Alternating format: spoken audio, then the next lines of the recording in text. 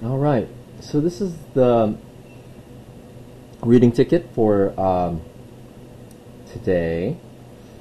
There seems to be a little bit of a lag, and I can't seem to get rid of it. So do your best.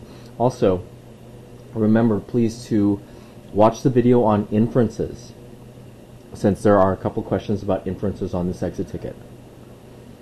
So number one. What is the title of chapter 5?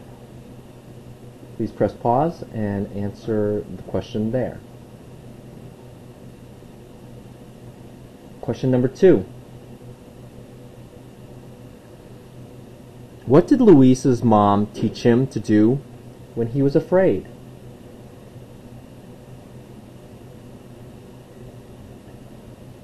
Question number three. How far in the future are Luis, Tyler, ah. and Casey from?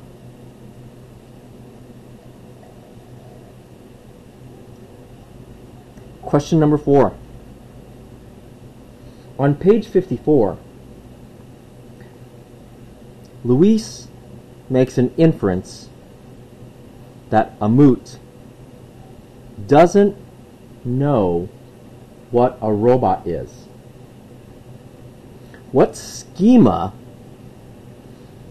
or prior knowledge led him to this inference? And the last question. We could make an inference that Amut is impatient. What evidence from the text on page 55 supports this inference?